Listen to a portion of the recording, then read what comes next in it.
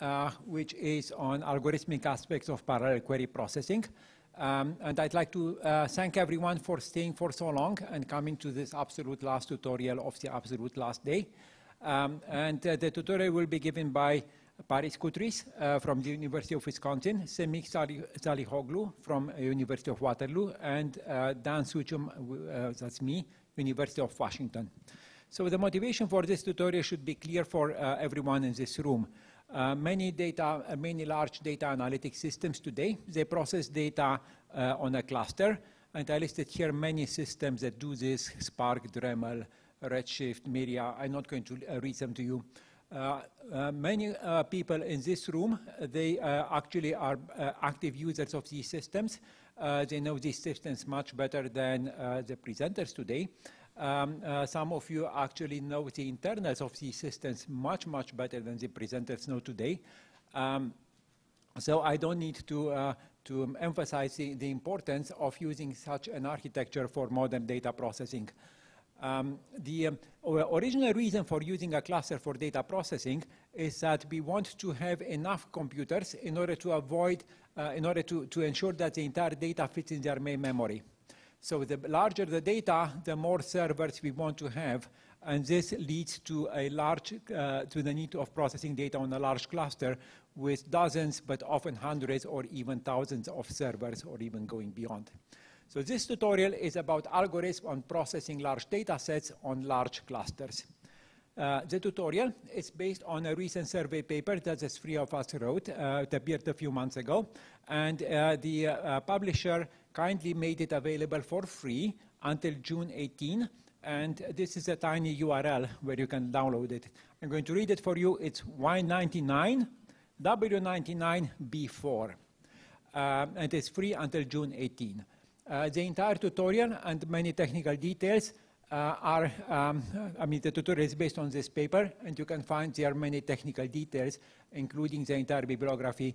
We did not list it on the slides because everything is available um, in the tutorial. And I will list the URL, we will list the URL again at the end of the, uh, of the tutorial. Okay, uh, here is a plan for the next one hour, one hour and a half. Uh, I'm going to briefly uh, describe some order of, of, parallel computation that we are going to use. Then most of the tutorial will be uh, focused on parallel processing of joins um, two-way joins first, uh, and then the much more interesting case of multi-way joins. Think about these uh, SQL queries with multiple joins. Uh, then we will also cover some of the traditional material on parallel processing for sorting and for matrix multiplication, and then we will conclude. Good.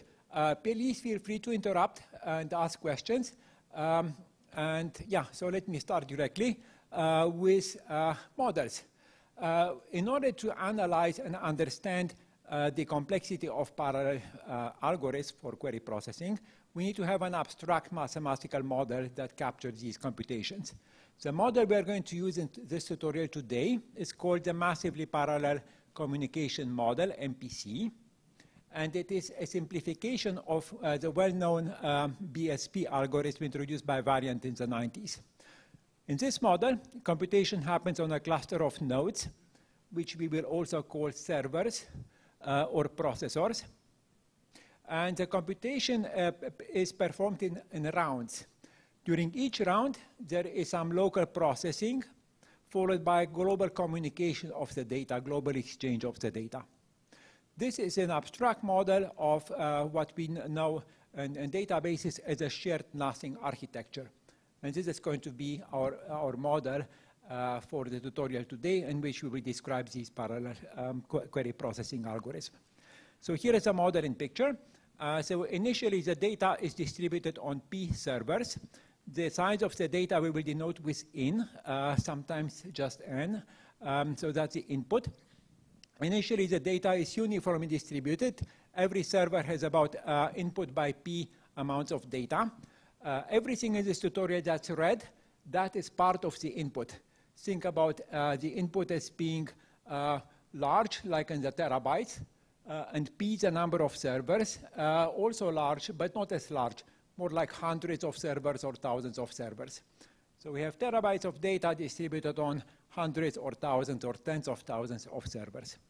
And um, computation proceeds in rounds. Uh, one round consists of local computation followed by communication. So communication is many-to-many, -many, like in MapReduce or like in Spark. And the, com the computation proceeds in several rounds. Uh, and at the end, uh, uh, the, uh, the output, the uh, result of the computation is stored on these servers.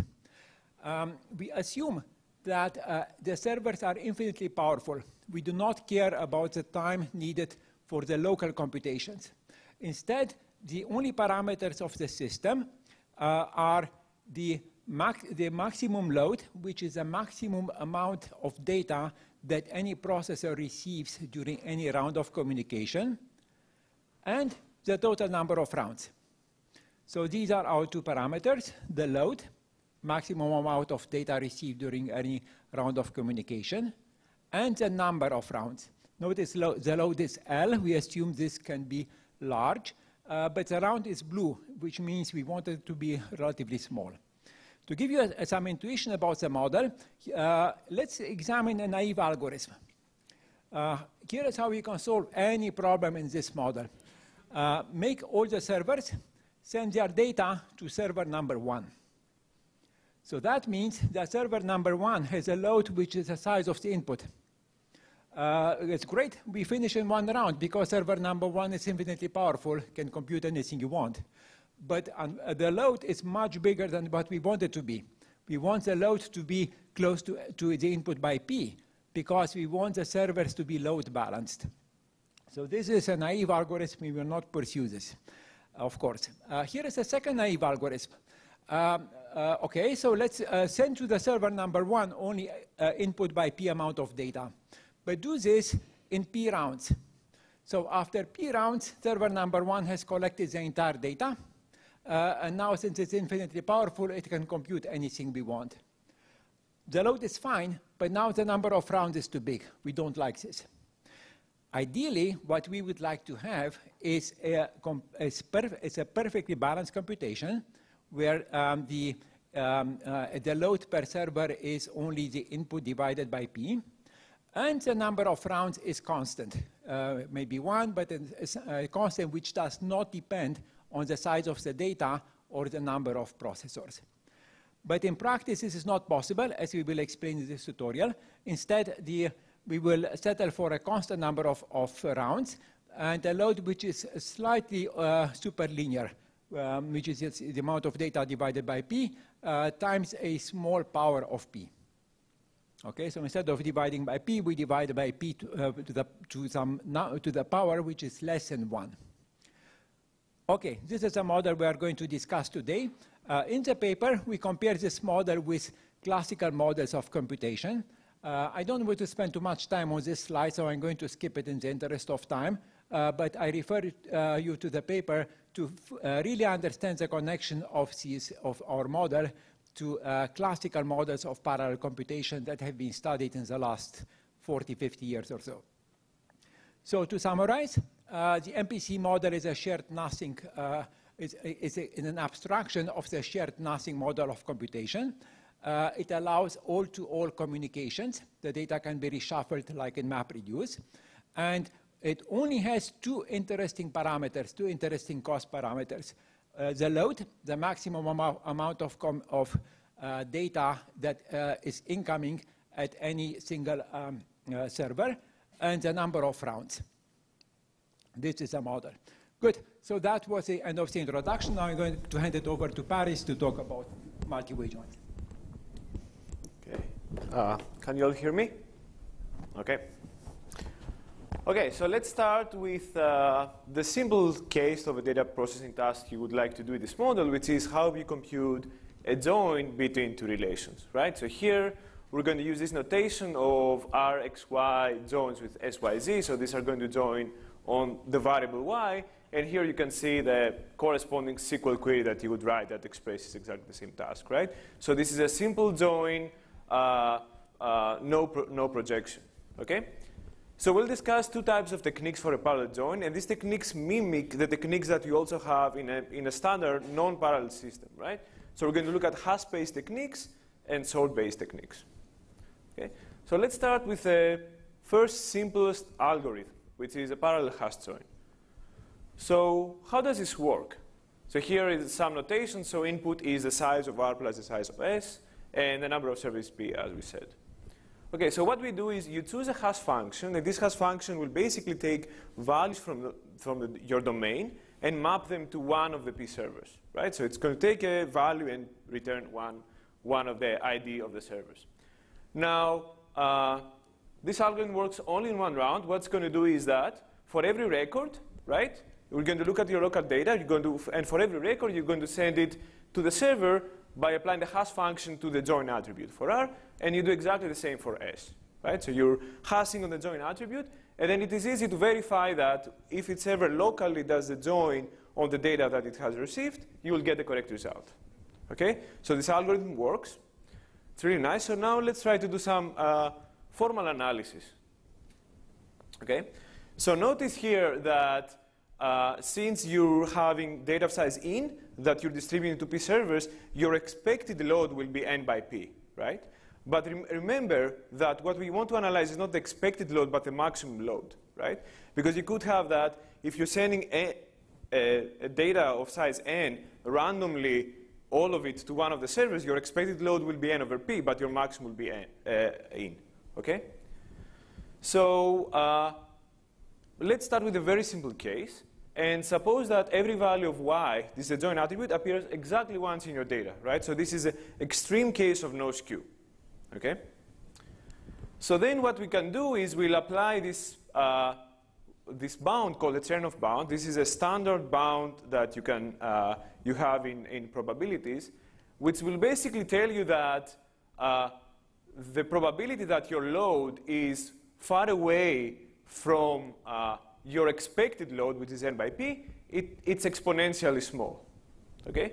So what does this mean is that for if your input is large enough, then you can actually show that with high probability, your load will be very close to the expectation, so it's going to be n over p, in over, input over p. And remember that this is what we said is the best thing we can hope for, right? So for the case of no skew, we, the parallel hash join works in one round and has basically the ideal, uh, the ideal load. Okay, so this is all good, but we assume that we have no skew. Okay, so now let's try to, to see what happens if we try to introduce some skew. And let's do it in a very controlled way. So let's assume that now a value of y doesn't appear one time, but appears d times, right? So d now can, be, can vary from 1 all the way to n. Okay? So then uh, the only thing that changes in this Chernoff bound is that this, this little guy d right, which is the, the times that, that the value, the maximum number of times that the value appears, is now part of the right-hand side. It's part of your probability, okay? So now let's try to see what, what this means for the load, okay? So here is, here's your graph, right? And here is what happens from different values of d, okay? Uh, let me see, where is this? Okay, it's here. Okay, so now if your d remember that we said that if d is 1, then we, before that we get that the load is n over p. Okay? So now if d is much, much smaller uh, than the input over p, then you still get the same thing, right? So the, the previous result doesn't hold only for d is 1, but for values of d that are smaller in general than, uh, than your input over p. Now, as you go, as your d goes closer to in over p, then we basically get about the same load and input over p, but we multiply by a small logarithmic factor that depends only on p, right? So we're about as close to the ideal, but we lose this, this small logarithmic factor, okay? Now, when d grows much bigger than input over p, all bets are off, right? So it could happen that your load would be as large as in, and in which case it's going to happen if you have one value that appears in every tuple of your relation, so in this case, since you're hashing on this value, all of this data will end up in exactly one, one server, right? So in this case, you are in, in, in pretty bad shape, okay? So uh, here is kind of a, a simulation of, of the, the previous thing that I said. Uh, we analyze. So, uh, suppose that your input is 100 billion tuples. And what you want to do is you want to make sure that uh, at most, you are at most 30% of your expected load with probability 95%, right? So we apply this inequality, uh, and say that this is what we want, right? So here is what happens, what is the degree that's going to give you this guarantee uh, as a function of the number of servers, right? So you can see here that if P is 100, right, so if you have 100 servers, whereas you want to compute your parallel hash join, uh, then it's fine, your load will be under 30% of your expected for a degree up to 4 million, right? So that's, that's pretty good, right? So even if your degree is huge, if you have values that appear in 4 million of your tuples, you're still going to be fine, right? But now if, if P grows, right, so if P is 1,000, then your D becomes much smaller, your acceptable D. It becomes 10,000, okay?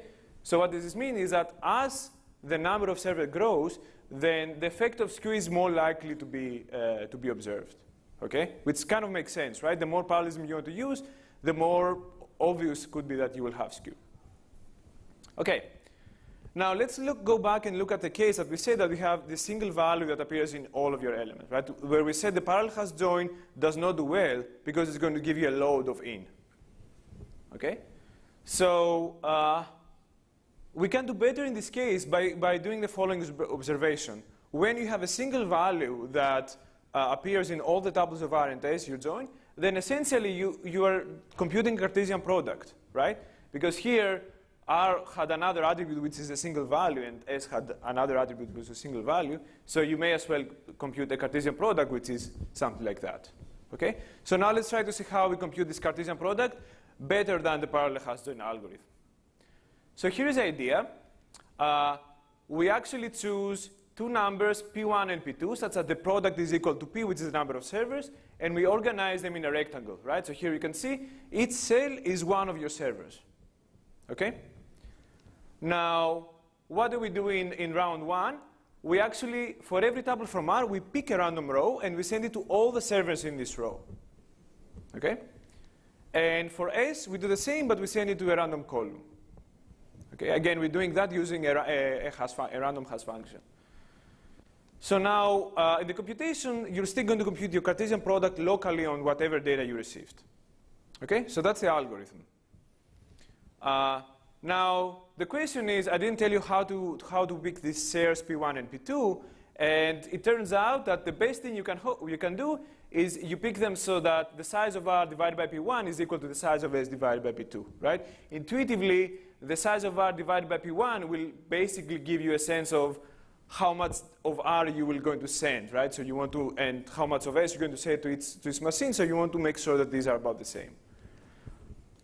Now, if you do that, then you get a load that is 2 times the square root of rs over p, right? So let's try to unpack this. Suppose that r is equal to s is equal to some number n. Then you get that your load is n over square root of p. Okay? Now you can see that this is not as good as n uh, input over p that we get from the no skew case, but it's also not as bad as, as in, which is what we get if we blindly apply the parallel hash join, right? And we can, you can actually show that uh, this thing is optimal, right? We cannot do anything better than that, right? there is a lower bound for this case. So you never care about the size of the output, no? You always uh, uh, uh, take care of the size of the input, but if the size of the output is really big, because here is, is big, no? It's quadratic. Yes, yes. Why maybe so we're going to come, we're going to discuss a bit on the size of the effective output well later when we talk about multi-way joins. But yes, we care about how much data you are going to receive and not how much data you're going to have as an output. There are multiple reasons for that. One reason is that many times you're actually you're you're not interested in having your full join result, right? You may want to do an aggregation or you may to do something else. So maybe you know that's not the right measure. But we are going to talk about output output in, in a bit. Okay?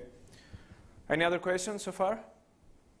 Okay, great. So uh, a final point I want to make here is that when R, it's much, much smaller than S, right? What happens is that this guy, this rectangle actually becomes a single line, right? So in this case, what you're doing is that you're broadcasting R, so you're sending all of R to all of your machines, and then you're just partitioning S, okay? So this is called the broadcast join, and uh, keep that in mind because I'm going to mention that in, uh, in a bit, okay? Great. So, okay, so we saw the case where you have uh, extreme skew. We saw the case where you have no skew. We saw a case where you have skew where basically you have exactly degree D. But what can we do in the general case, right? Is there any way Like, can we combine these things? And the question is that, yes, in the general case, you basically need to combine the parallel hash join together with Cartesian product. Uh, and in order to do that, we use a key concept of a heavy hitter, right? So what is a heavy hitter? It's any value of the join attribute that occurs at least input over p times, right? Remember, from the analysis that we did for the parallel hash join, this is exactly the, the barrier where you're going to go over n uh, input over p, right, times a log factor of your, expe- uh, of, your, uh, of your expected, right? So as soon as your, essentially, as soon as, as long as your degree, the number of times it occurs is less than n over p, then you are close to the expected. If you go above, you're not, which is why we're using this uh, value as, as the, the threshold, okay? A value that is not heavy, we call it a light hitter. Okay, so now how, does, how do we combine these two algorithms? It's really simple. For the values that are under your threshold, you're just going to run your, your standard parallel hash join and analysis so that we can actually go close to the expected, right? So you just do your parallel hash join, you're good. Now, for the values that are heavy hitters, you're basically going to, to compute, to take the query that corresponds only to that heavy hitter, which is a Cartesian product, and you're going to use the Cartesian product algorithm for that, right? You just have to, to take care of the following thing. You need to make sure that you are using ex, uh, exclusive amount of servers pi to compute that particular value bi. Okay? And of course, you, I mean, you need to use, or you have only p available servers, so you need to make sure that the sum of these things is, is equal to p. And then if you choose it appropriately to the size of, uh, of basically your Cartesian product, you can actually show that we can get a load of this form, right? So here we have our in over p, factor that we had before. And then we have an additional factor, which is the square root of the output over p. Okay? So now this is a bound that is output dependent. Okay? Notice that the output is always smaller than input to the, to the squared, right? Because when we join two relations, you're going to at most get a quadratic result. So this will be at most input over square root of p in the worst case. But when your output is smaller than that, you are actually going to get a much better behavior. If you don't have any skew, then this output is about the same as your input, linear to your input. So basically, this, this, uh, this term is going to dominate.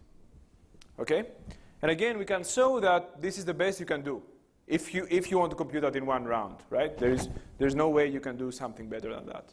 Yes? Why do you require this, these servers to be disjoint for each Here? Cartesian product? Yeah. Uh, so if, you, if you're not disjoint, then you have to add up the cost of sending data, right? So if you use the same things to do all the joins, you have to multiply it by the number of heavy hitters you're going to have, and then you'll, your load is going to grow. So basically, by being exclusive, it means that you're not adding up the load for all the Cartesian products that you are going to do. But you're using less servers, fewer servers. Yeah, so I mean, if you, uh, actually, I'm not sure. If you use all the servers for every Cartesian product, I don't think this is, you cannot actually get close to the optimal lower bound. The way to do that is to do the splitting and be sure that you assign the right amount of servers for each Cartesian product. Yes? Uh, really good question. Really good question. Okay. Uh, so the short answer is that uh, you can pre-compute them, right? So you can actually spend, it's really fast because you, you can do a really fast sampling and approximately compute them, or you can have pre-computed them and so on. The very important thing is that the, the notion of a heavy hitter also depends on your size of the input and the number of servers, right? So basically what is going to happen if P grows really, really large, then your like threshold is going to, to be smaller and then you're going to have more of them, right? Uh, but yeah, that, that would be my answer. Either you have them or you can spend a round that is really cheap and, and, and figure them out. Any other questions here?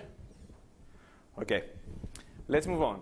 Okay, I'm going to go over that really fast, this slide. Uh, so I said we have two techniques, hash-based techniques and sort-based techniques.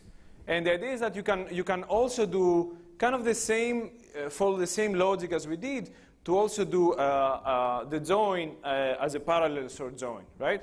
The idea is that you take the two relations R and S, union them, and then you, you do use parallel sorting for which we, we're going to talk about uh, in like 30, about 30 minutes. Uh, but you're, you're using sorting on the value of the join attribute. So you're sorting everything by the join attribute. And then what you do is that basically uh, think you, you, for each server, right, since they're sorted, uh, tuples that have the same value will be there, so you can join them. Now, the problem is what happens if they span multiple servers, right? So that could be if a value appears, again, is a heavy hitter. And in this case, again, you do the same trick of the, of the Cartesian product, right? So this algorithm will give you exactly the same, the same guarantee as the, as the hash-based join algorithm, but it just uses sorting, okay? Um, okay, so final slide on two-way joins is what happens in practice. So in practice, uh, parallel hash join is the most commonly used algorithm. Uh, many systems also use this broadcast join, which, which, we said is what happens if one relation is much, much smaller than the other relation, in which case you broadcast the smallest one and you partition only the bigger relation. And we're aware of Spark SQL that also uses a parallel sort join algorithm. Okay? When, when is one better than, than the other? Like the Spark have two, and how does it choose one in practice? Uh, that's a really good question. Uh, skew is the right. So, I mean, the broadcast join works independent of skew, right? So, as if your uh, one relation is much smaller than the other, then I mean, you should just use that. And the question which of these two is the uh, is better is not clear. I mean, even in the case of skew, it's it's not clear which one of the two you you can use. The, sort join easier than the hash join. You don't have to pre-compute the hash Right. You, st you still need to find if uh, uh, certain value spans multiple servers, right? Okay, great. So let's move to multi-way joins. Uh, so this, okay, so now we're moving from a join between two relations to a join between multiple relations. So the most standard example for that is what we call the triangle query. Imagine you have a graph represented by a directed relation, RxY. And basically, so here we have three, it's a three-colored graph, so we have RST, and then you want to find all the triangles, right? And let's assume that all the relations have the same size for, for the sake of simplicity. So it turns out that we can actually, so in a typical system, right, what you would do is that you would first compute the first binary join, and then take the intermediate result and then join it with, with the remaining relation to get the final result, right? So you have two rounds with two joins, but it turns out that you can actually compute this query in just a single round, okay? And this is an algorithm introduced by Afrati and Ullman in 2010, and then analyzed and optimized by Beame et al in 13 and 14, okay? So here is how the algorithm works. So remember from the Cartesian product that we organized our servers in a, in a rectangle. Now we're going to do, organize them in a cube, right? The, uh, the dimensions of the cube are going to be p to the one-third, p to the one-third times p to the one-third. So the product is again p. Now each cell in your, in your cube is actually one server, right? So now what are we going to do? For uh, the tuples from R, we're going to pick a random column, like vertical column, and send them to all the servers in this column. For S, we're going to do that in the other direction. And for T, we're going to do it in, in the other direction. Okay? So that's how we, we communicate the data. So now if you do, uh, you can easily verify that basically if you have a triangle ABC that you want to find, the, you will find it in the intersection of these three, uh, these three hyper, like hyperplanes. Okay? So essentially, if you communicate your data this way and then you compute your triangles locally, you're going to get the correct result always. Okay? So, okay, so the algorithm is correct. Let's try to analyze it again. So what is our result here? Well, our result is that we can compute the triangles with load n by p to the two-thirds. Right? Again, notice that this is not optimal. This is not n over p. Um, but it's also not n, right? So we're doing, uh, we're doing better. And again, we have to assume that our database has no skew. Okay, so this is the result for the no skew case. Okay, and the question is, can we do any better? Can we do, for example, n over p? And the answer is no, we cannot do that. If we use one round, actually this, this guy is the best we can hope for, again. Right? So this algorithm is optimal. There is no way to do better than that. Okay? Questions? Great. Okay, now you, we can generalize this idea. If you have a general conjunctive query, uh, again, we can organize the P servers in a hypercube where the number of dimensions is the number of variables that you have. So you have one dimension of your hypercube per variable. And then you're using k independent hash functions. And essentially, when I have, you know, take a fact from every relation, you're going to hash on the values of the variables that exist in this atom, and then basically you replicate to the rest, right? So again, you find the proper hyperplane and send it, and you can make the same argument as before that the intersection of all these hyperplanes will actually give you the correct result, okay? So let's try again. The question is how do we choose the shares now? Okay, so before in the, in the, in the triangle we chose the shares to be equal.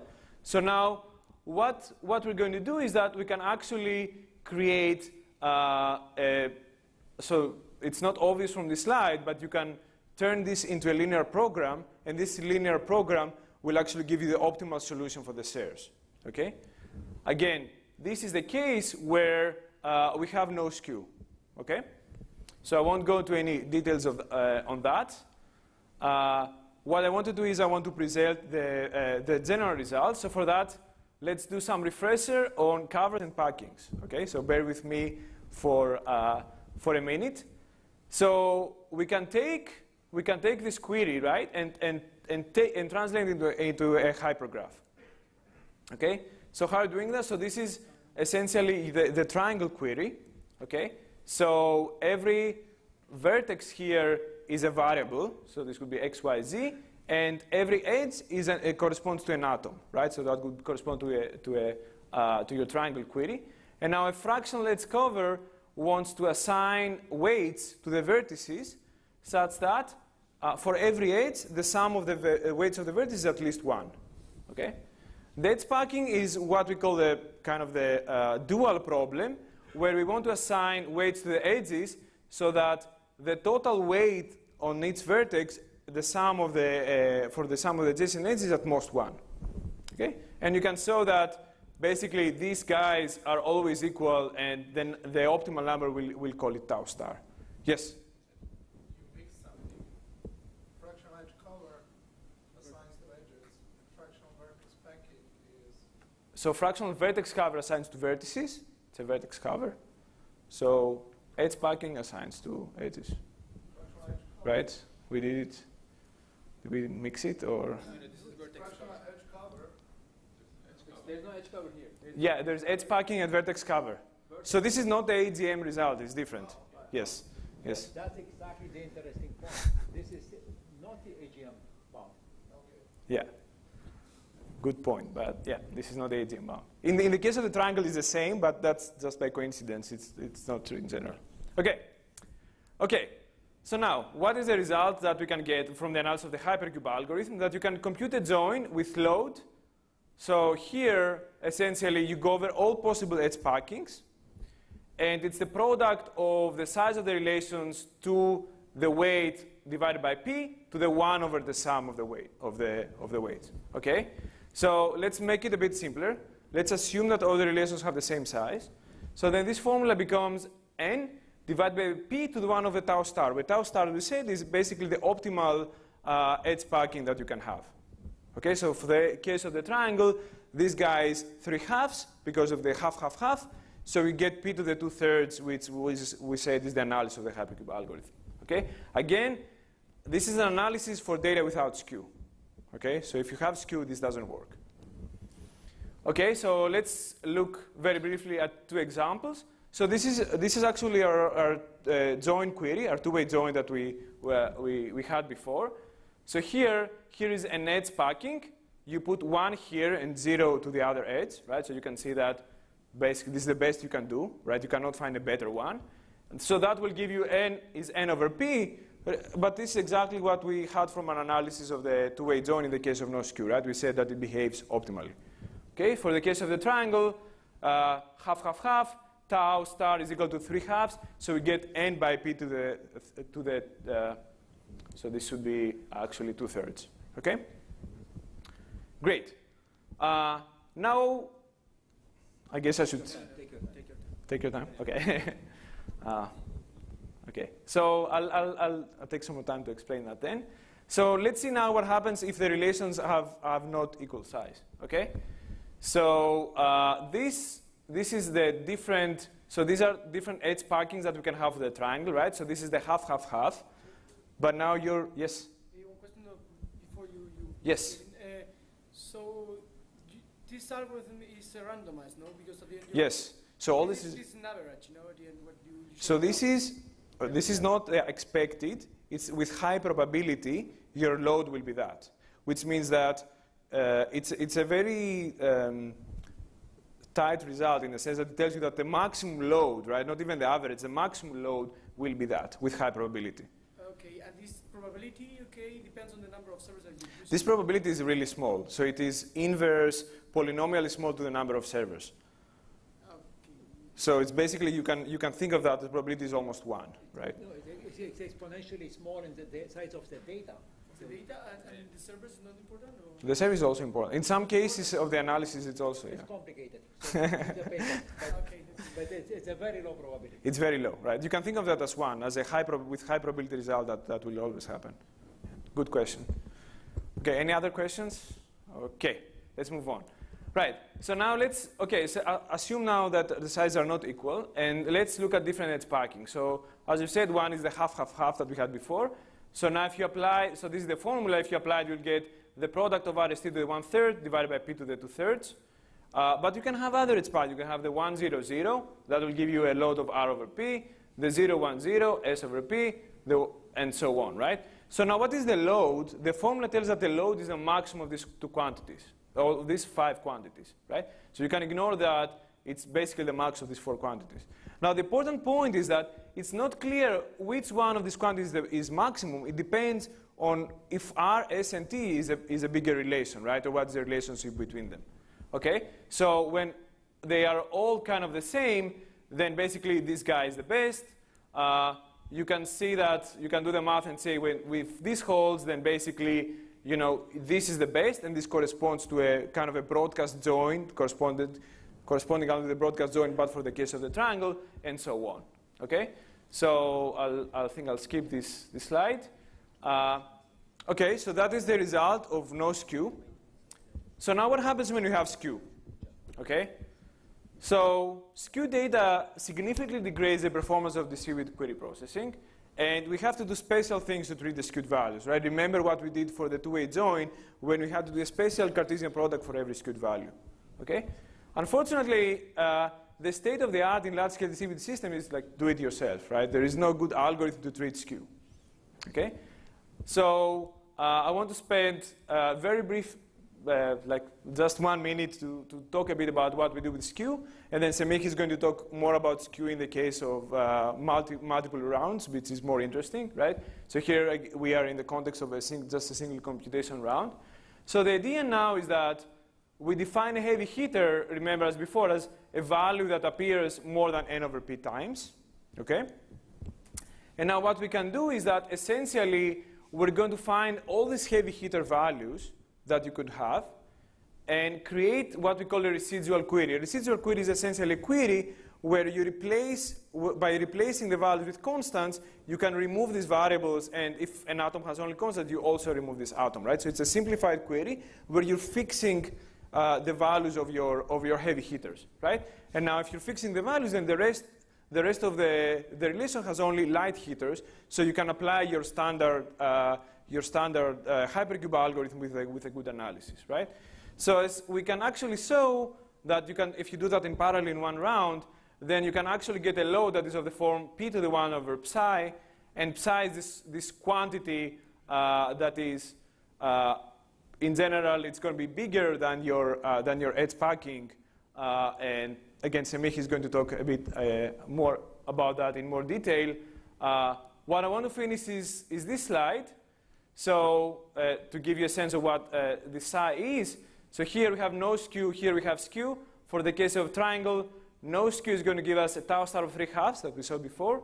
W- with skew, we're going to get to the 1 half, right? So here you can see that you get worse if you, if you have skew. But still, you can, you can be better than the trivial algorithm that sends, that sends everything to one machine.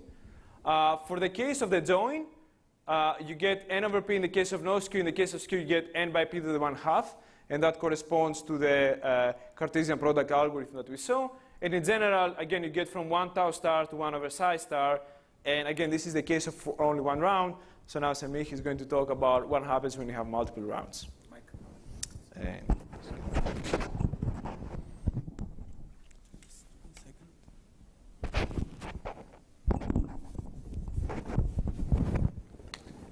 Okay, so uh, in the next part of the tutorial, I'll extend the uh, one-round results that Paris reviewed to multiple number of rounds. Uh, and, uh, in practice, uh, most queries on most BSP-based distributed systems are executed in multiple number of rounds. So if you took, for example, this select from group by query and took any BSP-based distributed system, say Hive or Spark SQL, uh, the system is going to execute it in two rounds. The first round, it's going to be spent to do the join between orders and customers, and the sec second round will be spent to do this group by by customer key and month. Right? So an interest, in, interesting high-level question to ask about these uh, systems or the algorithms running uh, underneath these systems is that what is the computational power of rounds? What do these systems and algorithms gain by being able to run multiple number of rounds? Right? So uh, I'm going to review certain, uh, some, some results in this space, but so kind of the upshot is that there's, uh, this is not very well understood. I'll, I'll, review a few of the results, but there are many open questions left in this, in, in this, in this part of the tutorial. So unlike the first part, where we have a quite good understanding of what can be done in one round, and uh, so basically every algorithm that Paris reviewed is tight. We can prove that they're tight, that they're the best things that could be do. There's, uh, our understanding here is, is a lot more limited. Right? So I'll come up to sort of a couple of interesting theoretical questions uh, in this space, right? So, but I want to uh, first uh, come back to this slide. Um, so basically, we looked at two cases of one round. The no-skew case, where, where the load complexity was determined by this quantity called tau star. Um, and the skew case, where the load complexity was determined by this uh, another quantity psi star. So both of these quantities are essentially determined by the structure of the query, by the shape of the query. Okay, so vertex cover or uh, quasi H packing, whatnot, right? And what we showed essentially is that in the one round case, if the inputs are skewed, then query processing gets more difficult, right? And specifically, sort of theoretically, how we show this is that you can show that for any query queue, the psi star of that query is going to be greater than equal to its tau star. Okay, so essentially saying that um, the query processing is going to get more difficult. So your loads are going to increase. Your scale scalability is going to decrease, right? Uh, similarly, sorry, um, similarly, we can look at two cases of uh, multi-rounds, the no-skew case. And in that case, what you should get is that we should beat this no-skew one-round case, right? Uh, because in, you know, we don't need necessarily need to run these extra rounds. In this case, we should beat this. And I'll talk a little bit about this, but at least in the case of extreme skew, this is indeed the case. Uh, for many queries, the skew, uh, uh in the no-skew multi-round case, the load gets optimal in, it reduces down to N over P, right? The other case is what if there is skew and we are able to run multiple number of rounds. And in that case, what we should get is something between this first column, where there is no skew, uh, but we can run multiple rounds. Uh, so we should be worse than this, but we should be better than skew one round case, again, because we don't have to use these extra rounds, right? So the interesting comparison is against this middle column. What if, the, uh, how, would, how would the load compare, load complexity compare against a no skew one round uh, algorithm. Okay? So now we are able to run multiple number of rounds, so we have that computational advantage, but our inputs are harder because they're skewed. Right? And it turns out that these two advantages are actually incomparable. Right? So I'll show you the load complexity in the multi-round skewed case is determined by another, yet another structural property of the query called uh, uh, fractional edge covering number, the rho star. That's the famous AGM bound. And tau star and rho star are incomparable quantities, right? Sometimes they're equal, sometimes rho star is greater, sometimes rho star is less than tau star, right? And in terms of the algorithms, I'll show you a couple of algorithms, and I'll show you uh, that they're tight for some queries, but the general case is open. So a general algorithm that meets this uh, rho star determined load as a multi-round algorithm is open. We don't have that algorithm yet. Okay? I'll show you a very specific query for which we actually don't know how to uh, hit, this, hit this bound. Right? So I'll show you a couple of algorithms, uh, but let me start with reviewing the AGM bound. So AGM bound is the answer to this fundamental question. Given a query queue, and I'll assume that uh, it's a join query, I'll assume that the relations are of, the, of equal size, what is the maximum size uh, of the output, right? The answer to that question is that given any fractional edge cover, I'll review this in a second, the output size of this query uh, under arbitrary instances, okay, in, in particular we're interested in skewed instances, is less than or equal to in to the size of this fractional edge cover, right? So let me give you an example. So here's one query with three relations. In fractional edge cover, we are trying to, we are giving values between 0 and 1 to the relations such that each attribute is covered, meaning the sum of the relations that contain the attributes is at least 1, right? So here's one fractional edge cover where r gets 1 and t gets 1 and s gets 0. So x is covered because r is 1, y is covered because t is 1. So this fractional edge cover puts a bound of n squared to the maximum size of the output, right? Here's a better fractional edge cover where r and t gets 0 and s gets 1. S, because it contains both x and y, cover both x and y. Okay, so this gives a uh, upper bound of in, right? So in general, uh, the fractional edge cover with the minimum weight gives the, gives the best upper bound, and that's called the AGM bound. So we're going to denote this with rho star. So the rho star for this square is equal to 1, right? So let me take this AGM bound and just give a lower bound of what could be the best thing for a multi-round algorithm uh, in terms of its load complexity. Okay, evaluating queries again under arbitrary skew. Right? So here's a uh, very simple counting argument to derive a lower bound of what would be the best thing to expect in the essentially in this worst case setting uh, from a multi multi-round algorithm. Right? So suppose a multi-round algorithm is running on a cluster, um, and it's got a load of L. And I'm looking at this one particular processor, processor K. Right? So this processor K, each round is able to essentially receive L number of tuples. So over R round, it's going to be able to read R times L tuples. That's the maximum number of tuples it can know about or it can, it can, uh, it can receive. Right? So with this many tuples, R times R tuples, it can produce, by the AGM bound again, R times L to the rho star tuples. Well, since there are P processors in this algorithm, together they can produce p times RL to the rho star many tuples. And that has to be greater than equal to into the rho star because there are many instances that have that many outputs. So for any correct algorithm, this quantity has to be greater than into the rho star. So if you just do the math and move L to the left, you get the lower bound on the load. That is for any multi-round, uh, say a constant round. Okay, so I'm going to fix the rounds to constant. For any multi-round algorithm, the load of the algorithm in the worst case has to be greater than in over p to the 1 over rho star. Right? So that's uh, just some baseline of what's the best thing to expect from a worst case optimal algorithm, a multi-round algorithm. Good. So I'm going to show you a couple algorithms that hits this bound in a couple slides, but I want to start with the easier case of what happens uh, for a multi-round algorithm in the extreme no skew case. So let's start with the easier case. So we're running, we're able to run multi-rounds, but there is no skew in the input. So this was the case where each of the degrees are one right? Each of the degrees of each value is 1. Well, in that case, we could simply do what most systems typically do, right? Basically run just iterative binary joins, right? So we're going to take this triangle query, for example, and we can run this in two rounds. In the first round, uh, we're going to join R and S, and we're going to hash on Y, just randomly hash on Y. And that's going to get, with high probability, a lot of in over P. That's the best thing we could hope for. Plus, and that's happening because the value, again, the degrees are 1. There's no skew. Plus this intermediate table is also going to have a size of at most n. Again, that's happening because the degrees are 1. And then in the second round, we are going to join this intermediate table with t, hashing on z and x at the same time. Again, that's going to give us a load of n over p, giving us the output. So this can be done for any query. So in es essentially n minus 1 rounds, if you're able to run multiple number of rounds, we can always, in this extreme case of no, no skew, hit the optimal load. That's the best thing that can happen, right?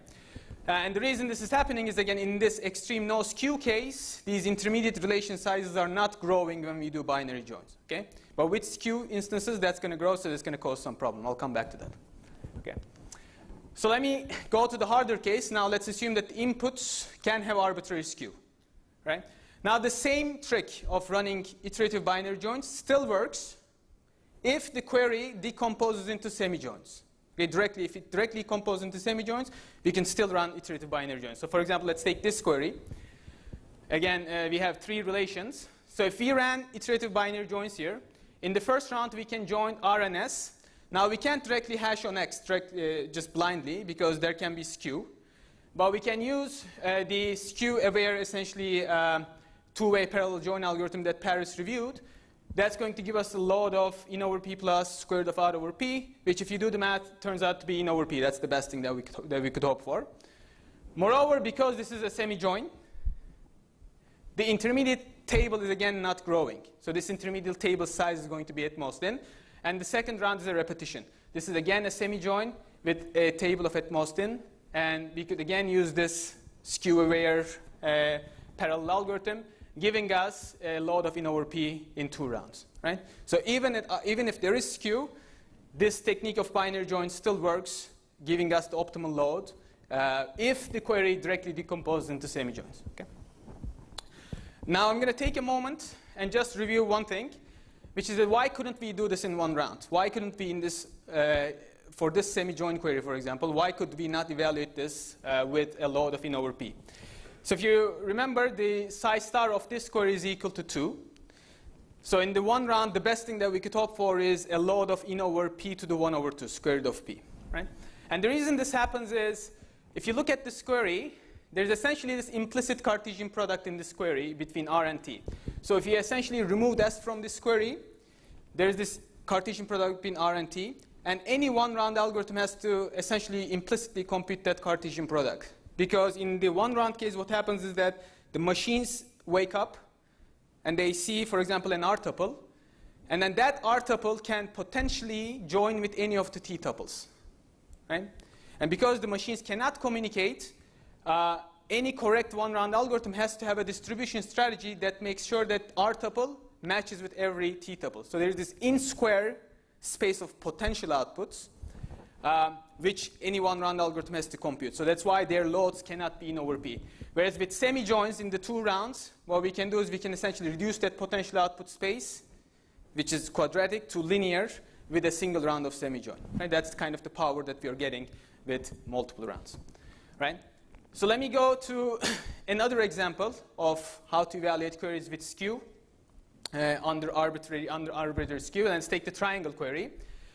So this query does not directly decompose into semi-joins. So we can't directly run binary joins. But what we could do is we could decompose into semi-join residual queries. Right, so what we'll do is we'll look at the values, the degrees of the values in these tuples, and we're going to separate them based on whether or not they're light or they're heavy. So uh, the heaviness is going to depend on, uh, on P.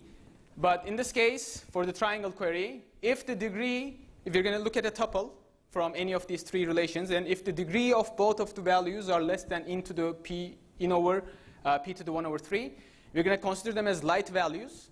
And that's, uh, on that light values, we are going to just run the regular hypercube-like algorithms from, the, uh, from that Paris reviewed, which will give us a load of in over p to the 2 over 3. Okay, that's still within our target. We're, the rho star of this query is 3 over 2. Okay, that's what we're trying to hit. On the heavy values, and there can be at most, by the definition of the, uh, the threshold that we put here, there can be at most order of p to the 1 over 3 different heavy values. For each one of those, for example, z is equal to 3.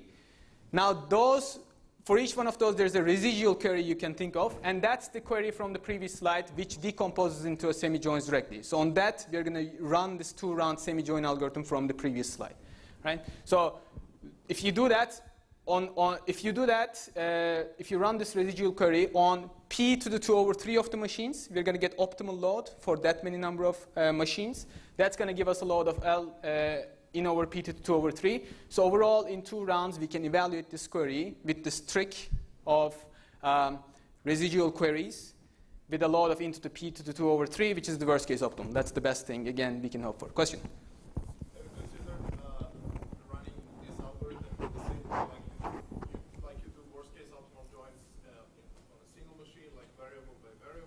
Uh, excellent. Uh, so I have one um, one sort of reference at the end, which I can sort of say. Um, there's a direct sort of distribute, distributed version of those new worst case join algorithm, specifically the generic join algorithm if you're familiar with. Uh, that gives, that hits this load, uh, but only on when the parallelism is very large. And I can, I can talk more about that. Uh, there's an upcoming VLDB paper on that. Uh, but again, it doesn't achieve it, it doesn't achieve this worst case load for sort of reasonably small number of processors, only at the extreme case. And I'm happy to talk about that. Question? Yes, so uh, at least in sequential databases, when they want to do um, multi-graph, uh, sorry, multi-joins, the thing that is usually done is to check which is the graph of the joint computation. Then given the, the, the selectivity of the joints, I know which joint I want to compute first. So uh, why is this approach not used in the distributed computational process? Uh, I mean, so there's a little bit of that happening here by looking at the degrees. If we believe that the degrees is go- so if, by looking at the degrees and specializing the queries, if so, we are we are essentially saying there's going to be selectivity is very bad here. It's going to grow a lot, and we kind of separate them, treat them uh, differently. So some part of it is happening here too. Okay. Right. So. Right, so we can, for the triangle query, we can also hit the worst case optimal bound for multi-round algorithms. So here's where I'm going to sort of uh, show you the, the open problem. So this heavy light and semi-join algorithm, heavy light decomposition, separation, and the semi-join uh, decomposition, uh, that that's essentially what, what we are doing. By recursively, we can do this. So not just for the triangle query, but for more complex queries, we could keep doing these uh, heavy light separations and uh, decomposing into residual semi-queries uh, recursively. Uh, that will work, but it only works for um, relations with two attributes or some very special cases. And the general case of how to evaluate queries with this load is generally open. And here's what I want to leave you with. Here's a very specific, concrete example query that we don't know of how to evaluate in uh, in over 1 over rho star, basically. The rho star of this query is equal to 2. The psi star is 3. And we have a one-round algorithm that already computes this in in divided by p to the 1 over 3. We know that already. One of the algorithms Paris showed does that. But we don't have an algorithm that can evaluate this specific query with five relations with in over p to the 1 over 2, which is the lower bound that we have.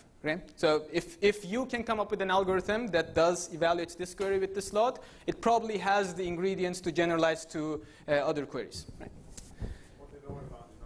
Or the lower bound is not tight. So maybe there's a, for some things, there's another maybe property or structural property of these queries that can show that it actually, the lower bound is not this, but p to the 1 over 3. So we don't know.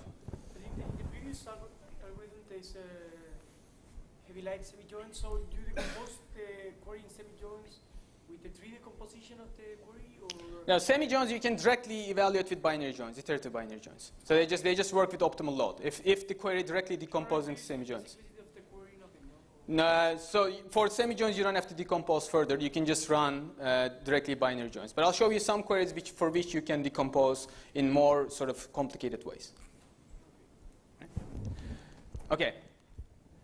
So, so even if that algorithm, general algorithm, that can evaluate any query in in over p to the 1 over rho star exists, it may not be excellent because for some queries, just rho star is, is just simply very large. Right? So for example, for path 20 query, the rho star is 10, meaning that any algorithm like hypercube, heavy light imaging, or that possibly that general algorithm that we don't know of, would give very poor scalability. That means with a rho star of 10, in order to increase our speed up by 2, we would need 1024x many processors, okay? So it's actually giving very poor scalability, right? So you might try something like iterative binary joins, but the problem under skewed cases is these, the, in these intermediate tables can get very large. Specifically, if they're larger than p times n, well, that means that during the computation, at some point, you're replicating your input p ways. Well, then you are better off just replicating from the beginning in the first round and not having extra rounds of computation and being done with your communication, right? So, but if the output is small, then semi-joins can still help in a different way, right? And I'll show you, uh, and it will help uh, basically by using this Yannakakis-like algorithms from, from, uh, for acyclic queries, right? So let me just remind you this algorithm. Yannakakis' algorithm takes as input an acyclic query and the with one generalized hypertree decomposition of the query. Uh, so in the original paper, it's called the join tree. I'll tell you a little bit about this. So if this is the query, this would be a GHD with with one, right? So GHD is essentially a essentially a join plan where each bag here contains some attributes and some uh, relations, where e- the relations have to cover the attributes in that bag. And it's got several properties which I will not review, but one of them is, for example, that if you looked at any attribute and looked at the nodes that contain the attribute, that has to be connected, right? And the width of the generalized hypertree decomposition is the number of relations that's assigned to any of the nodes. So by definition, acyclic queries are the ones that have with one GHDs, right? So for this GHD, for example, this would be the join plan. Essentially, GHD should be thought of as a join, join plan. This would be the join plan. And the algorithm in the serial setting is going to do two rounds of semi-joins followed by a join phase, right? So initially, we're going to go through an upward semi-join phase where we're going to semi-join each parent in this join tree with its child, removing tuples that cannot produce any outputs. So in this case, for example, uh, they join on A2. So A23 does not exist in R4. Therefore, we're going to remove this tuple, right? We do this with every child, removing certain dangling tuples from these relations. Then we're going to follow with a downward semi-join phase, semi-joining each child now with its parent, so on and so forth, uh, removing certain dangling tuples, followed by a final join phase, where each child is uh, iteratively essentially joined with its parent, right? So this algorithm is known to be instance optimal in the serial setting with a runtime of in plus out, uh, and the reason is that after the semi-join phases, it's guaranteed that if you do binary joins, that the output sizes will not grow, the intermediate table sizes will not grow more than the output. That's the advantage of this algorithm, right? So if you just blindly distributed this algorithm for acyclic queries, where you each semi-join and join is done using these uh, uh, either skew aware or blind random uh, hash, hash uh, based uh, join two-way join algorithms, what you get is an order of n round algorithm that is going to hit a load of in plus out over p, right? So that means you're getting essentially 2x processor means 2x speed up because of this p, but obviously this only makes sense if the output is small, right? And in particular, as long as the output of a query is less than p times 1 minus 1 over rho star times n, this type of Yannakakis style processing is going to be faster than uh, the semi-join, residual query semi-join decomposition type of queries, right? So just, you know, here the larger the number of processors you're using, the more outputs you can tolerate for Yannakakis-style multi-round algorithms to beat these uh, semi-join uh, reduction-based algorithms. Good. All right, so I'll just finish with this, just a little bit. Yeah, three minutes. Just, just finish with this. Uh, we can actually improve this, not run in uh, order of n rounds, but order of d rounds, where d is the depth of the generalized hyper-tree decomposition. Um, simply, let me just show you an example. So for some queries, like the star query, the depth of, it's, it's got very short depth generalized hyper-tree decompositions. Right, so it's got a de decomposition uh, depth of one. So for, for a query like this, we can actually, I'll just skip through it. It's um, for the sake of time. But what we can show is that uh, for any query, so let me just come to the result. Any query, let's just focus on with one query, so acyclic queries. If it's got a depth d generalized hypertree decomposition, we can actually run it with in order of d rounds instead of order of n rounds. So for the star query, for example, we can actually run it in three rounds, or like order of one rounds. Uh, there's a multiplicative factor of three with the same load, without affecting the load anyway. So the load is still in plus out over p. Okay, so um, that's where I'm going to stop in terms of multi-rounds. So as I said, like this is the one area of conjunctive queries, uh, the distributed evaluation of conjunctive queries, where the understanding of uh, the load complexity and what can be done with multiple rounds isn't uh, as well as what we know of what you can do in a single round. Right? So I'll stop there and let Paris uh, talk about uh, sorting.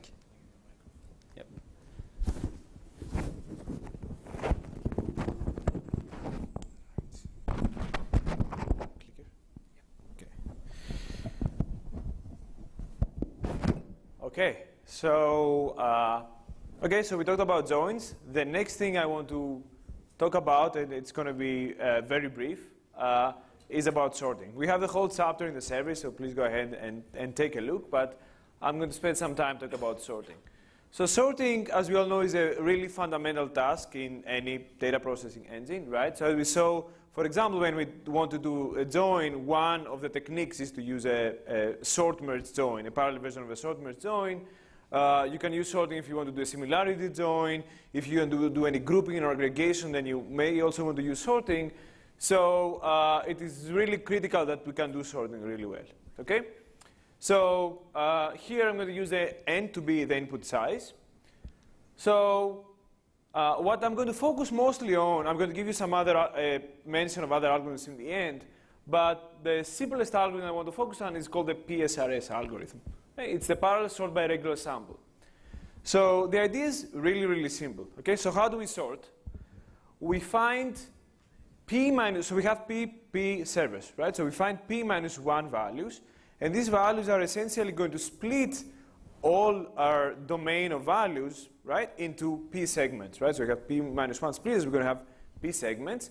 And then we're going to take its segment and assign it to uh, interval, that's here, and we're going to assign it to one server, okay? And then if we have this partitioning, then it's, when we want to communicate the data, its server can look at their data, see exactly what interval its value is, send it to the right server for that interval, and after that, essentially what you've done is that you've sorted your data across the servers, but not inside. So the only thing that remains to be do is do a local sort, and then you have a total sort, uh, sorted order of your data, right? Okay, so that, that, is the, that is the fundamental idea. And of course, now the question you should be asking is, how do we find these splitters, right? Um, and here is what we do. There are multiple uh, ways to do that, but a very simple idea do is the following. Each server will look at its local data, right? So this is before we found uh, the splitters, right? Initially, you can have any arbitrary part of your data. So you look at your data, you compute the p minus 1 splitters of your local fragment, and then you send them all in a central location, right? So this central location is going to receive p minus 1 local splitters, which this is called the regular sample, from p servers, so there's going to be a total of p squared, okay? And then you're basically going to look at these p squared splitters and pick every, sort them and pick every pth of, of the splitters. So from this p squared, you sort them, you pick p of them, and these are your general splitters. Okay? And what we can show is that, well, if we do that, then we can achieve a load of n by p with only a constant number of rounds, right? So we basically need one round to compute the splitters and one round to shuffle our data and then sort. Okay, so two rounds, uh, optimal. Yes, question? How, how do you deal with skew? In the worst case, your array might have only one value. Right, duplicates, right. So this, this technique, as it is, works, uh, as I said, it works for when you don't have duplicates. When you have then uh, you can actually do simple transformations to, to make it work. But if you're sorting and you have duplicates, you don't care about duplicates. Maybe Yeah. you're interested in stable sort. No, no, I, I'm interested in what happens if one of your interval uh, is, is spanning multiple servers. No, that, that, that's the point. So that, the, what this guarantees is that within each interval you will have the approximately the right, the right number of, uh, uh, of, of values. Assuming no duplicates. Um, okay. Yeah. Let, let me backtrack. You're, you're right. A skew it, it creates a problem. Add to each item its position in, uh, in the global, its global position in the input vector. This eliminates the skew. So that's, that's, that's an important ingredient. So there are techniques to, uh, to deal with duplicates. Yes? But there is one route that you send a constant amount of, uh, of data, no? That is the, of the size of the number of process, proper, uh, uh, the number of CPUs that you have. Well, you know? Yes? And then you send all the data. So you also are counting that as a round because it's, it's So the first round will only send p squared, total of p squared data, right? Which is really small because p is your number of machines, right? in your model you're considering that as a round. Yeah, you consider a round, but it's going to be a very light round, right? Essentially, it's going to do very, uh, it's going to be really fast, right? Because you're only, and you're, you're gathering your data only one in, in one side, right? So that's going to be, uh, yeah, so that's, but it's still a round, right? We can't say that you need only one round, right? Tec- technically, you need two rounds, but of course, the one round will have a very small amount of communication, okay? Any other questions? Okay, so uh, two important things here. First, in order for that to work, we need the number of servers to be really, really small. Uh, uh, uh, so in fact, it has to be smaller than the cubic root of n, right? Otherwise, this algorithm doesn't work. And the reason is that basically we're setting all p squared elements to one machine, right? So we have to make sure that p squared is smaller than your input divided by p, which is what we get this, this quantity. The second is that, well, I told you before that you actually have to go and locally sort the data. Of course, that's going to be expensive. So what mo modern implementation of PSRS do is that you actually can sample instead of sorting, right? And then you, you won't get an absolute guarantee, you get a probabilistic guarantee, but it's actually good enough in practice, right? So uh, I'm going to, uh, to I'm going to have a later slide on that. Okay, so what happens for larger values of p, right? What happens if p goes closer to n? Uh, so this is more of a theoretical interest than a practical interest because for more practical cases, this quantity will hold, right? So you may as well use this algorithm. Uh, but there are two algorithms that we know of that, uh, that, that you can use. So one is Cole's algorithm. Cole's algorithm is designed for the PRAM model. And I won't go into any details. Go to the, to the, uh, to the book and, and read it if you're interested. The idea is that it was for the PRAM model. Uh, and if you have P processors, then you can solve that in time n divided by P2 log n. So this is a different notion of time than the one that we have in, in our MPC model uh, because we are in the PRAM model and not in the BSP or MPC model. Okay? The kind of more interesting algorithm that's closer to our model is Goodrich's algorithm, which is designed for BSP. So we can apply it to the MPC model. And there, this algorithm tells us that with load n by p, right, so this is optimal we can do, you need log, log uh, n rounds with base L to, uh, to sort. Okay?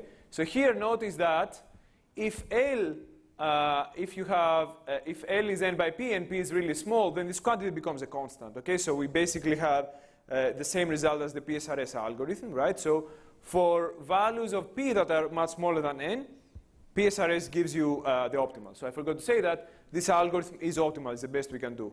Okay? So, uh, but in general, this algorithm will be much better if your values of P are closer to in. Okay? Deterministic. Yes. And it's also deterministic. Uh, no, the PSRS or the Goodrich's algorithm? Yep. Okay.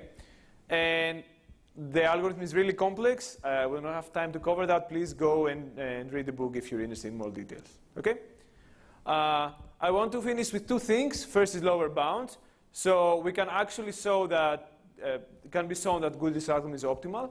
And in particular, it can be shown that the minimum number of rounds that you need to sort n elements is log uh, n with base L, right? So this means that Goodrich's algorithm is the best we can hope for in terms of rounds. And also the minimum total communication that you need, so over all rounds, is n times the number of rounds. Okay? So this is the best you can do. You cannot beat this, these bounds. And notice, importantly, that these lower bounds are independent of the, of the number of servers that you have. Okay?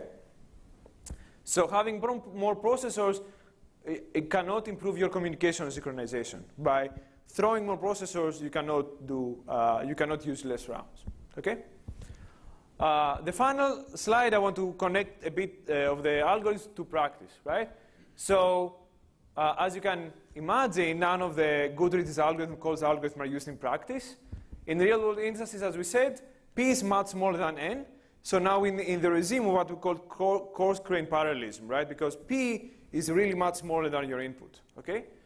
And in this case, most of the, uh, of the algorithms that we are aware of use this PSRS method or a variant of thereof.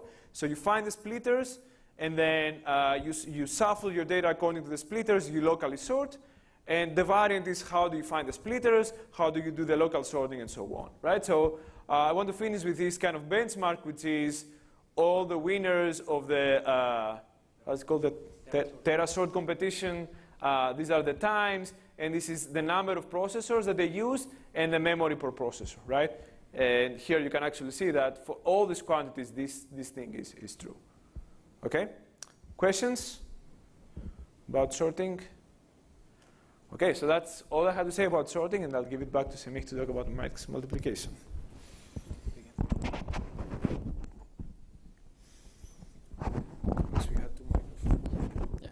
Right. Uh, so in this uh, last technical part of the uh, tutorial, I'll, I'll, review some very elegant results for matrix multiplication, focusing on what, what are called conventional algorithms for square matrix multiplication. So we're given as input uh, two n by n matrices there's n squared outputs, and we're going to focus on conventional algorithms, which are those that uh, uh, essentially perform all of the n cube elementary products. Right? So we are ignoring algorithms like Strassen's like algorithms for two reasons.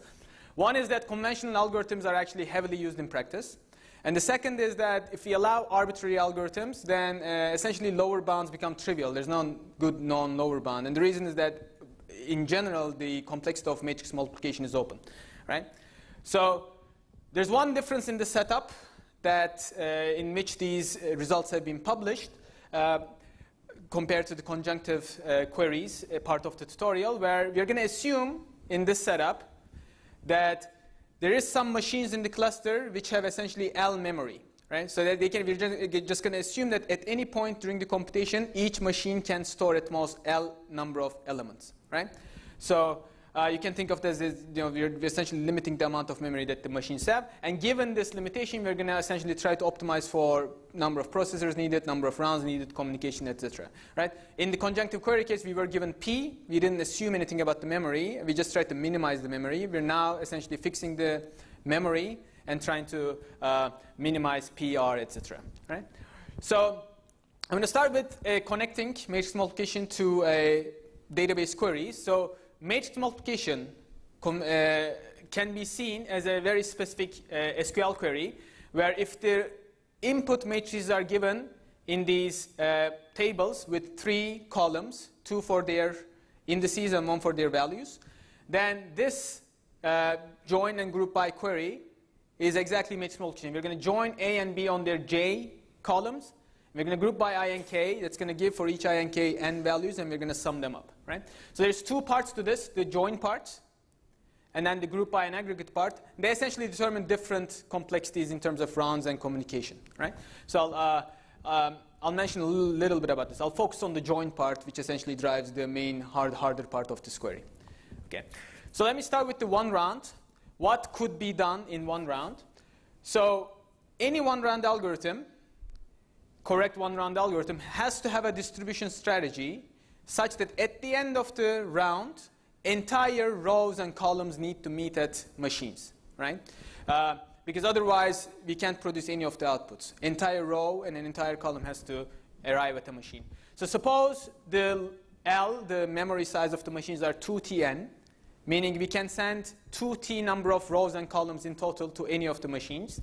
Uh, the question if you're trying to essentially maximize the number of products that a machine can, uh, elementary products that a machine can make, uh, can compute, the question is how many rows and how many columns should be sent? And the answer is uh, we should send equal number of rows and columns. So t number of rows and t number of columns uh, so that the, any machine can do t squared times n products. So for example, if t is equal to 3, meaning the load is 6n, so we can send 6 columns or rows, the best thing to do is send three rows and three columns to a machine so that suppose the dimensions are 75, so we can do 9 times 75, which is equal to 675 products per machine, right? So that's the way, the, that, the best thing to do.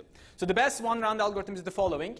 We're going to divide the A into n over t uh, groups, rectangular groups, right? And B into n over t, i am denoting that as k, k um, columns, rectangle column groups. And we're going to have a Cartesian product of these row, row groups and column groups. We're going to have k-square processors.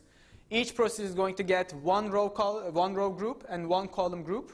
And it's going to do all the multiplications that it can do.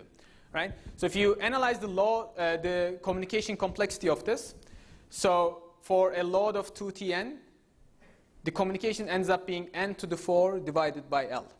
Right? So that's, and that's the best thing to do. Question?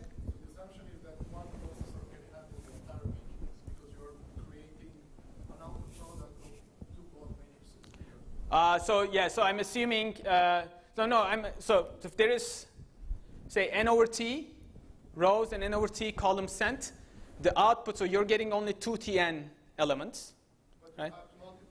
Yeah, you have to multiply them, but the number of outputs is essentially t squared, right? So n over t squared. So it's the, if, so this is t, so this is t, so how many, how many output elements will you produce? There, this, is there, this is D, and this is T, so you're going to actually produce T squared outputs. So we're going to produce very, very small number of outputs. Okay. And that's the, essentially the best thing to do. That's the best thing to do in a single round. Okay? So what happens if you can run a second round? Now we don't have to send entire rows and columns to a processor, right? So we don't, we're not constrained by that uh, limitation. What we can do is actually we can now first perform some partial products and then aggregate them in a second, second round, right? And the right thing to do in this case is we're going to divide the matrices into you know, L over square root of L over 2 by square root of 2 blocks. And we're going to have, so let's call H uh, n over square root of L over 2. So it's going to be H, so A and B are turned into H by H block matrices. So there's going to be H cube block multiplications that needs to be performed. So we're going to have H cube processors. Each one is going to do exactly one of those. Right? So processor 1, for example, gets A11 and B1H, so on and so forth. So the number of products then now we can do per processor is going to be Tn to the 3 over 2 which is a lot larger than the previous case with the same amount of memory. So instead of 675, we can actually do 3,375 products. So, we, so you can think of this as we need significantly fewer number of machines to perform the product. So our communication complexity is going to go down significantly, right? And in the second round, so this doesn't finish the computation. In the second round, there is, for each uh, output block, we need to aggregate H partial products. So we do an aggregation round, which communication-wise is very cheap though. Okay, so I'm not going to even analyze that. So we can generalize this to a larger number of rounds very easily. I'm going to analyze the cost in a second. But this essentially idea generalizes to even further number of rounds, more number of rounds as follows. So there's H cube block products that need to be performed. If we have H cube processors, we can do them in one round, as in the previous example. But if we don't, we can actually group these H cube block products into groups in a very uh, in a clever uh, grouping strategy where the block product Aij and Bjk is going to belong to group Gz if j is equal to i plus k plus z mod h. So that's difficult to digest, but I'll show you what this gives you, this modding technique gives you, okay? So in the end, though, there's going to be h groups. So there's h cube, uh, h cube block products. There's going to be h groups. Each is going to have exactly h square block products, right? And then each round, we're going to multiply as many block products as we can, depending on how many machines that we have, right? Plus a partial aggregation, right? So let me show you an example. This is, I'm uh, grouping into four by four blocks, A and B. Um, and so there's going to be essentially four to the three many H cube many block products that needs to be performed. This is group one. There's going to be four groups. I'm showing you the group one. So the colors here mean that the blocks with the same color are going to perform, be performed in this group. Right? So A00 and B00 will be multiplied, and it's going to be contribute to the partial sum for the output block C00. This mod technique, essentially what it gives you is that in each um, group, there's going to be exactly one block product contributing to one output uh, block. Right? So these are the rest of the groups. And uh, the way we're going to do this, let me give you an example, depending on how many number of machines is, suppose we have h is equal to 4, and we have only 16 machines. So there's 64 block products performed, but we got only 16 machines. So what we're going to do is, in the first round, we are going to perform the first group's partial uh, products, and we're going to get some partial sums. In the second round, we're going to perform the second group's products, plus the partial sums are going to be aggregated uh, as, a, as, a, essentially a running aggregate. That's going to give us a second partial sums, so on and so forth. So in four rounds, we can compute the final output. If we instead have 32 machines, we're essentially embarrassingly going to parallelize these group products. So in the first round, the first 16 machines are going to do the first group products, and the second 16 machines are going to do the second group's products. That's going to give us two partial sums. Then in the second round, first 16 products are going to do this, the, the third and fourth essentially groups are going to multiply it in the second round, giving us two partial sums. Now that's the end of the block computations. All we have to do is aggregate these partial sums, and we can use the first 16 products to do that. Okay? So essentially a very sort of simple way of using more rounds if we don't have enough machines to, to do this in two rounds. We can do it in three rounds, four rounds, so on and so forth. And it's the uh, optimal algorithm for multi-rounds. So this, this algorithm, I'm not going to analyze it, but it's the, uh, it's essentially solves this problem. It's got the best round complexity. It's got the best communication complexity for any, any particular uh, L. Okay? So that's where, that's where I'm going to end. And Dan is going to conclude uh, the tutorial. Thank you. Uh, question? I I just have a comment that uh, tomorrow at the Beyond Faculties uh, workshop, there's a video presentation about implementation of Strassen's algorithm. Okay. And it will be in a constant number of rounds. Sure. Uh, so there is results on like if you if you focus on other types of algorithms, like Strassen's like algorithm, there's also very nice results about the best communication complexities that you can get in different number of rounds. Uh, I'm not covering them here, uh, but we have pointers to those in uh, in the in the in the pa- paper. We don't review them, but we have, we have pointers to them. And yeah, I mean, so Strassen's algorithm. I hadn't seen a constant round version of it maybe, but uh, I'm happy to discuss uh, how, how it works. Right.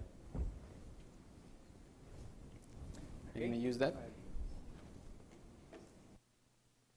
Okay, so now I just need to find the, um, right. So uh, we only have a few minutes, so I'm going to uh, conclude, and the, uh, all the details that we skipped, they are uh, available in the paper and much more. Uh, so, uh, a quick summary, what have we seen in this tutorial? So we focus most of, um, of our uh, tutorial on describing joins, uh, how to compute joins on a uh, distributed cluster. Uh, then we also reviewed some classical results from the 80s and 90s on how to compute in parallel, how to sort in parallel, and how to do dense matrix multiplication in parallel. Uh, in all these algorithms, the goal is to minimize uh, two objectives. The, um, uh, the communication cost, which we defined as to be the maximum number of data that each server receives during uh, each round, and also the total number of rounds. Now, of course, in practice, you want to minimize the total runtime, uh, but, and uh, the, the, the, so you need to combine these two somehow. The exact combination depends on your architecture, on the relative cost of um, uh, the internal algorithm that depends on the load and the number and the cost of the communication. So here are two main takeaways. If you, uh, if you, uh, if you get, if you take two things away out of this uh, tutorial, then these are the ones. Namely, for skew-free data, we understand perfectly the complexity of computing the multi-way join on in one round. And this complexity is, give, is given by this interesting parameter, which is a fractional edge, uh, fractional edge packing number, or the fractional vertex covering number. Very confusing. It's, that's it's tau star. Uh, when you move to multi-round, uh, we only understand the, the, the complexity uh, when the data is skewed. Uh, I mean, when the data is unrestricted, I should say. And in that case, the complexity is given by the other number, the fractional edge covering number, rho star, uh, which is the one that you might know from the AGM bound. Uh, and interestingly, this is an interesting fact that is specific to us, to data management. Uh, the total amount of communication that you need, you must perform in order to compute a multi-way join uh, is much larger in general than the size of the input data. Not very surprising, because often uh, the, the, end result is much larger than the input data, so we need to communicate this somehow. Uh, but it turns out that this even holds if the end result is small. Uh, in the one round, the lower bounds that we have proven, uh, they um, show that you need to communicate more than your total amount of input data, um, even though the output is small. So these are the two main takeaways. Um, Okay, uh, for the matrix multiplication, the, uh, uh, this is a brief review of what is known from, uh, from the classical results. Uh, for matrix multiplication and sorting, there is no skew. Uh, so essentially, there is no penalty in terms of communication. The algorithms are in somehow perfect. The total communication over all the servers, not, not on one server, over all the servers is proportional to the size of the input. Uh, and here the main takeaway is that when uh, the number of servers is relatively small, like uh, the input to some fr fractional power, then the algorithm is simple. Think about PSRS, the, the, that sorting algorithm that essentially implemented today in practice in all parallel sorting algorithms. Uh, the, the, the, challenge uh, is when the number of processors gets close to the size of the input data. Uh, it's of theoretical interest. Uh, for what we know so far, the number of servers is much smaller than the size of the input data. Uh, but it's something to consider if you ever move to a setting where you have millions of servers as opposed to thousands of servers. Uh, okay, I want to finish with uh, three open questions. Uh, we do not know how to extend the uh, sorting-based algorithm to multi-round and to uh, compute um, multi-way join, uh, multi-way join queries. We only have, understand how to use uh, sorting merge sort, the standard textbook merge sort, to compute a single join. And there, interestingly, the analysis of the, of, uh, of the skewed elements is simpler than for hash partition. So this is one open question. Can we extend sort-based algorithms to multi-way joins? Um, secondly, as somebody pointed in, in the, from the audience, uh, most of our analysis, except for that special case of, of um, um, uh, single join, most of the analysis depends only on the, on the input. Essentially, our algorithm aim at partitioning the input data in such a way that uh, every server can compute the output locally without any more communication. But often, uh, you can actually um, get to better algorithms, think about GYM or the generalization of Yannakakis algorithm, uh, if you also take into account the, uh, the output. Uh, but we do not have a full understanding of the complexity as a function of both the input and the output.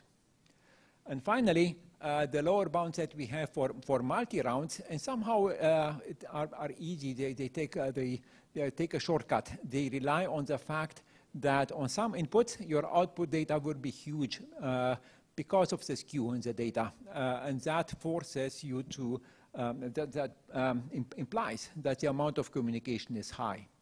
But we know, I mean, we conjecture uh, that even for examples, for some simple examples where the output uh, is, is not bigger than the input, um, uh, even multiple rounds are not enough to compute the query with a linear amount of communication. We just don't know how to prove those uh, lower bounds. Good. So on this note, I will, uh, um, I will finish. I will point you again to our uh, survey paper. And this is a URL uh, where you can get it for free until June 18th. And I will stop right here and take questions. And I, actually, why don't you join me to um, take questions? Yes, please.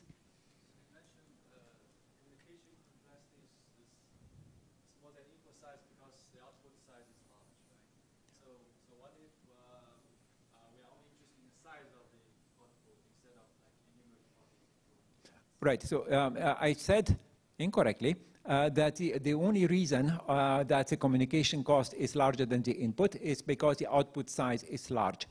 This is actually incorrect. Uh, we know examples of queries uh, for which the, the um, communication uh, requirement seems to be large, even if you allow a constant number of rounds, um, even though the output is, is bounded. in particular, what, what, um, um, what he asked is what happens if, you, if you're just interested in counting, in counting the number of outputs. Uh, we don't know how to prove lower bounds on the communication cost. Uh, we believe there's, there, is, uh, there are such lower bounds, we just don't know how to prove them. Uh, yeah, even computing size, even computing, even checking if there exists at least one answer, uh, we conjecture is hard. Uh, the simplest example that I have in mind is a five-way is a um, five-way uh, join uh, with a chain, so a chain with five queries.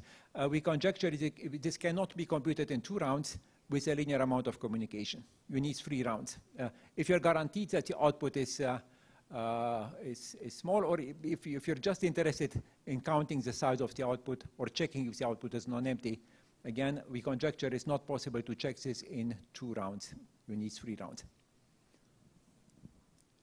Any more questions? Yes? So I have a question which is slightly related to this uh, talk, actually, but more not on the single query, but on the whole query line in the distributed. Jim. Okay. Uh, so actually, um, now in a system like, for example, Spark or Flink actually allows you to create a query plan in your computer, but it, it works like, at least when you code it like a local algorithm, and then it's projected into multiple servers. But for at least from what I understand from um, uh, orchestration theory, if you create a local program and then you try to project into a distributed environment, there is no guarantee that the local algorithm, even if it's optimal, then when you project it into multiple servers, is still optimal. So are there even results on the algorithm with the distributed query plan, not pursued global context? So they make. So, so can you can you explain what you sorry? Can you explain what you mean by pro this projecting the plan to? So in the um, orchest uh, orchestration environment, actually, the aim is to create uh, a program that works on, uh, for example, microservices. Okay, so you create only one code that looks like a sequential code, and actually say this is a distributed environment. You have microservices, and it is projected as in way you have multiple computers running your same algorithm, and it, the projection guarantees the correctness of the algorithm. So I know that the local uh, algorithm is correct.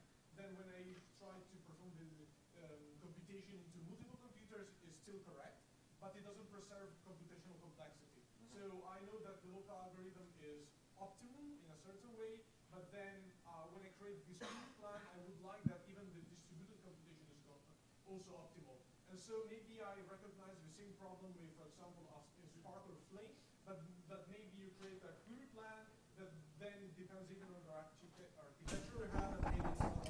So let me see if I understand. So you're saying that uh, once you distribute the data and compute locally uh, the, um, um, the, the, the, your query, the sum, the total amount of work performed by all the processors can be larger than the amount of work you, you would perform on a single server. Is that what you're saying? No, actually, so it's more like uh, if there are results, so more generally speaking, if there are results on defining distributed query plans. So here we talked about only one query plan for one single operator, but I was wondering if there are results, for example, as in relational databases, I have one query plan and then I try to find optimization and then I distribute it into one more complex and I will get a query. Are there results? Yeah, I'm, I'm not sure. I think, I think it's better if we take this offline. Yes? Can you perhaps say something how the picture changes if you switch to sparse matrices? Uh, sparse, sparse matrix multiplication. Do you have anything in the paper? There is, uh, so, uh, this working? hello, let me use that. So there is, uh, it's in, in actually one of the slides, like I, I couldn't get to it. Uh, there is uh, almost, so there is uh, very good results on sparse matrix multiplication too. Uh, tight lower bounds, tight upper bounds too, by the same authors um, that I that uh, I so there's several results that for the dense case, the algorithms, there's several sort of publications that have uh, that have the ingredients of that algorithm, but one of them have a sort of another, uh, I think, paper with sparse uh, case. But they we have pointers to it in the in the. So I might be so I might be sort of. Um, I don't I don't want to say something wrong. There's certainly very tight, tight results for that. Um,